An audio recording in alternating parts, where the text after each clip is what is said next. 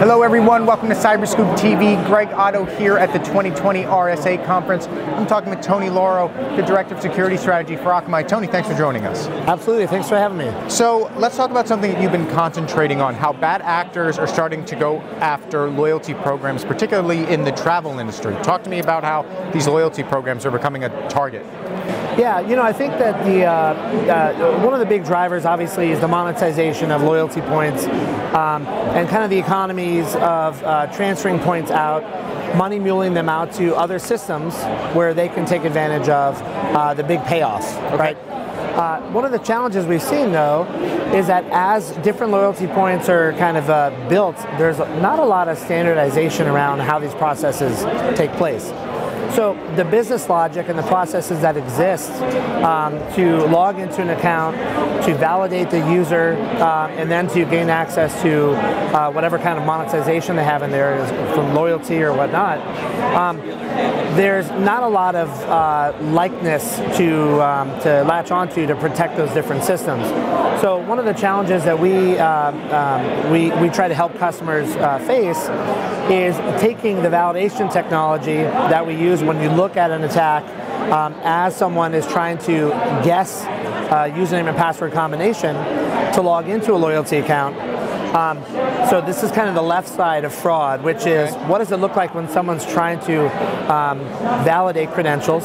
So we look at that, and then as you kind of move to the right side, which is now that I've validated a credential and I log into it, what are the signals that we can identify as a user logs in? What do they look like when they logged in before?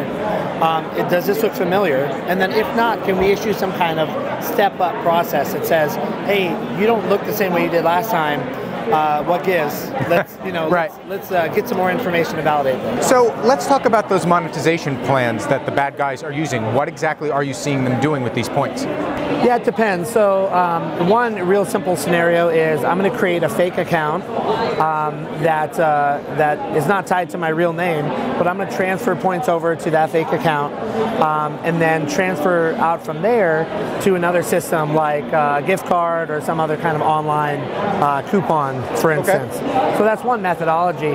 Um, but it's funny because as you look at this at scale, it's very simple to say maybe these points are worth uh, 500, you know, $500. Right. Okay. As I transfer them to another system, I'm losing a little bit of value. Um, and then, you know, if I get a gift card, I'm selling that for even less. Okay. So the attackers are willing to kind of go through this step down process just to get any money out of the system. Uh, and I think that's a real challenge because, um, you know, you're you're trying to look at kind of the, the top level. The loss is is huge, but the gain to the attacker is about scaling that process out. So let's talk about something related to this. I feel like a lot of this happens due to credential stuffing attacks. You can get into these loyalty programs because, look, a lot of people aren't protecting their loyalty programs the same way they're protecting their bank account. So, talk to me about how you see credential stuffing really being a pain point here. Yeah, you know, I think that, um, uh, and you kind of hit the nail on the head. When you look at uh, a business transaction, um, a credit card transaction, there's a lot of scrutiny there. Uh, a lot of um, uh, care and, and feeding has been gone into validating those systems. But loyalty seems to be a little bit of a neglected process. Um, uh, even so much so in the design process. For instance, um, loyalty numbers that uh, basically sequentially um, uh, are, are, handed out. Okay. So as I'm looking to validate if a loyalty card is uh, is, is valid, okay. Uh, or maybe what the value is, maybe there's some kind of API call I can make to give me the value of my loyalty uh, program. I could sequentially make a query through a whole bunch of range of numbers to get information back on that system. So a lot of it's about the build process, kind of the application, the, uh, the logic flow really, um, of what the request looks like, um, you know, for the loyalty program, um, and what your responses are gonna, what kind of data they're gonna give up. So if I'm an enterprise and I'm worried about this and I have my loyalty programs, what do I do in order to counteract this? Do I start handing off my loyalty programs to my fraud team? I can't imagine that they're that they would be excited about that because they're actually, you know, watching those payment processes and watching the actual financial part of it that this seems to be, you know, kind of low on the list of things to worry about. Yeah, well, you're right. You know, uh, so there's a couple different things at play. One is that when you start to look at uh, the fraud process, That's all the way left of this uh, paradigm, if you, or all Okay. the way right of this paradigm. Okay. Uh, it's extremely expensive to deal with things from a fraud uh, perspective Right, okay. because the detections, all the, uh, even the employees uh, that that are specialized in this area, um, it's a much more expensive process for uh, an organization. So we talk about the left process, which is looking at credential abuse, looking at um, you know data breaches that have take, uh, taken place, the username password combinations that are now tried via credential stuffing against your site. Um, trying to look at that process and really validate: is this a human requester, or is this an automated program or a bot? If it's a bot, let's get some more information about it. Let's find out what they're trying to do.